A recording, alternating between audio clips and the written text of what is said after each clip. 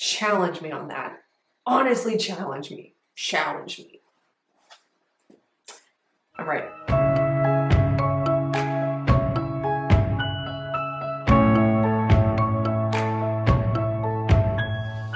Hey dancers, it's Kirsten. Welcome back to the Confident Dancer YouTube channel. Today I'm here to talk to you guys who feel behind. You feel like you are behind in your progress. Maybe it's that you started at six years old, but you just feel like you're consistently behind in your class and you're not good enough. Or you're just constantly playing catch up, trying to be good enough for maybe a professional career or whatever it is, and you're just stuck in this narrative of I'm behind. Or maybe you might have clicked on this video because you started later in life, maybe as a teenager, maybe later than that in your adult years. And you have this idea in your mind that you're behind and that's been weighing on you. I really want to encourage you with this video because I really believe there's so much more to each of us than the age where we started ballet or dance, whatever style that you do.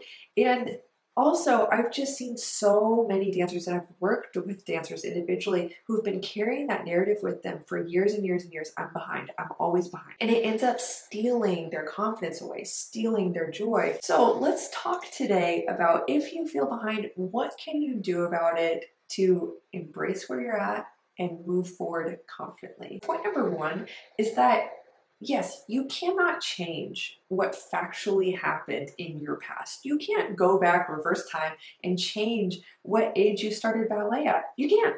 So, all right, if you can't change that, what are we supposed to do? I want you to realize that you can always change the way you think about anything, including things that factually happened in the past that you can't change. Okay? So, again, even if you can't factually change what happened, you can change the way you think about it.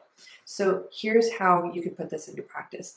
Realize that whatever age you started at, if you can't change it, how can you change the way you're thinking about it? Are you thinking about it like it's such a problem? Like it's always this stamp on your forehead of not good enough because you're older than everyone in your class or whatever it is.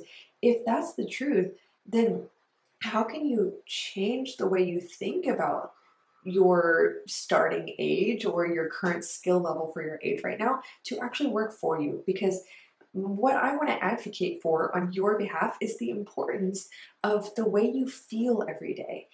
Sure, you can carry this story with you every day that you're behind, you're not good enough, all this stuff.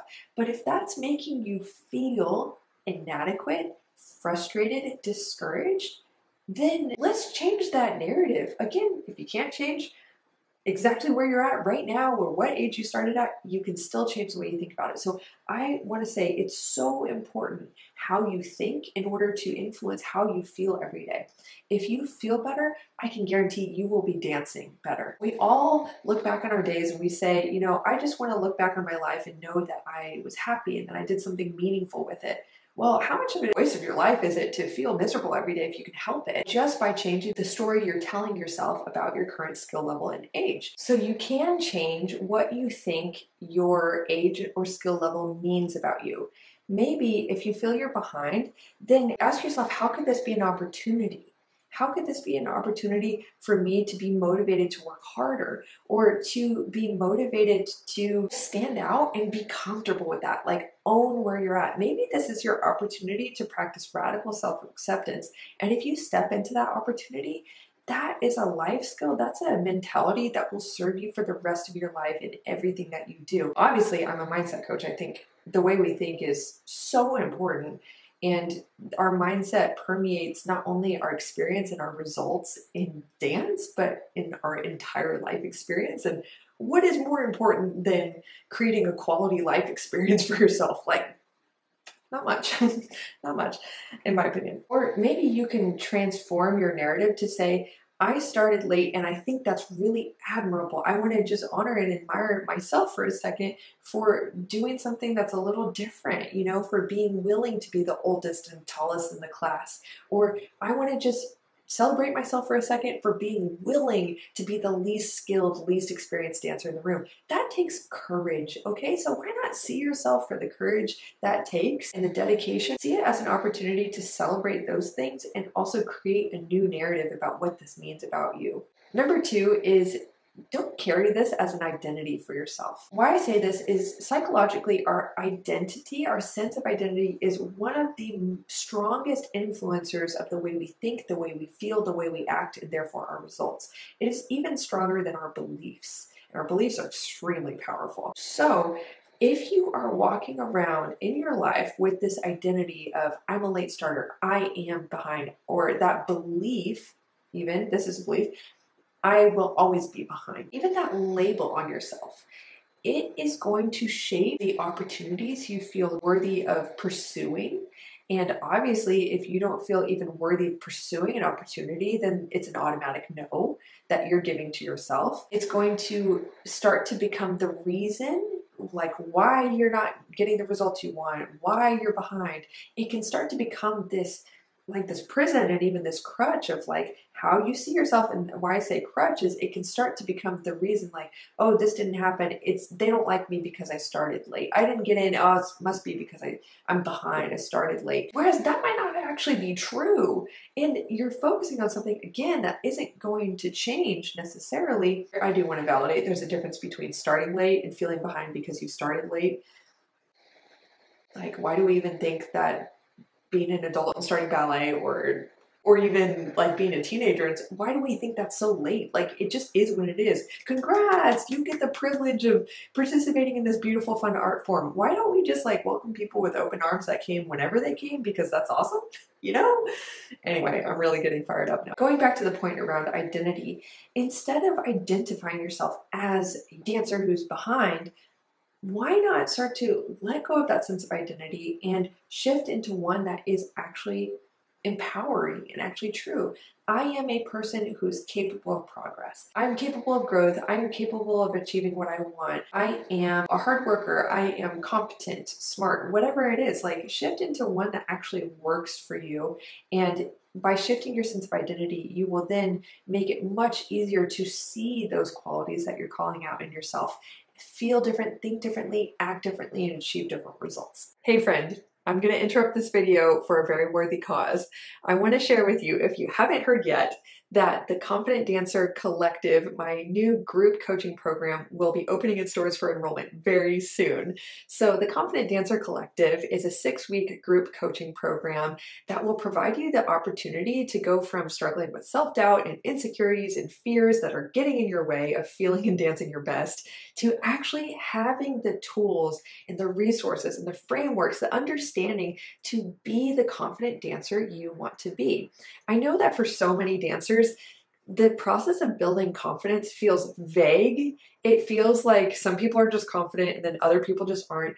That is not true. Confidence is truly something that everyone can develop within themselves, no matter if you're the most skilled or the least skilled dancer in the room.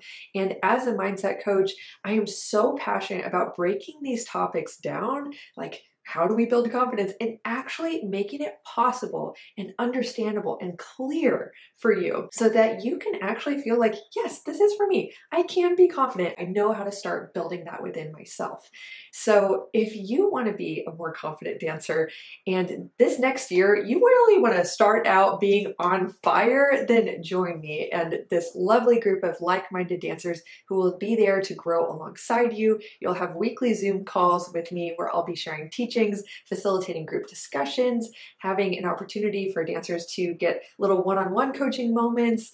And so we can all learn and grow and encourage each other and learn from each other. So join this program. If this piques your interest, all you have to do is just click the link in the description, theconfidentdancer.com, and you can learn more about all this program includes. Start now by getting on the wait list so you're the first to know when enrollment opens on December 14th. It closes December 23rd, and then we start in January, in the first week. So learn more, get on that wait list, and I can't wait to work with you. All right, let's get into the rest of the video. Okay, point number three is to examine how this could actually be an opportunity for you. I know I'm a broken record. I say that basically in all my videos because it applies to everything. You can see everything as an opportunity. Everything. Like, challenge me on that. Honestly, challenge me. Challenge me if you examine how this can be an opportunity, you can start to see like, oh, or even an advantage, an advantage or an opportunity. It could be an actual advantage that you started late or that you are the least skilled dancer in the room because you have the greatest opportunity for growth in that room. If you're already at the top, then you are the example other people are following. If you feel like you're at the bottom, instead of just condemning yourself for that, say, Great, within this year that I'm in this class where I feel like the worst, I have the greatest opportunity to make that leap towards the top cool, I have the greatest opportunity to look around at examples of what I can become. Whereas the people at the top, they're just looking backwards. You know, maybe they feel great about themselves, good for them, but you have an opportunity to grow so much more. Next point is to just remember that if you can't change it, own it. So if there are aspects of your past you can't change, like you changed genres, maybe from like competition into jazz late, great, you can't change that, own it. if you can't change the age you started at, own it. All right. If you can't immediately right now change your skill level, even if you started at six, whatever, and you just feel like you're behind, we always have that next best step available. There's always something we can do to move forward. And the best place to start is owning where you're at now and saying, great, I accept where I'm at now. I'm going to just own that that's what it is without judgment and just ask myself, okay, what's the next best step? What's the next thing I can do instead of focusing on all the baggage of what you can't do, how you're not good enough?